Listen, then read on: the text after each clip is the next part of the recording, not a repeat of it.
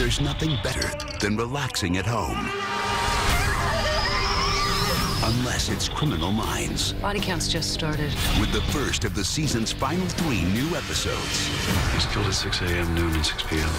I'm not feeling so good about the stroke of midnight. CBS.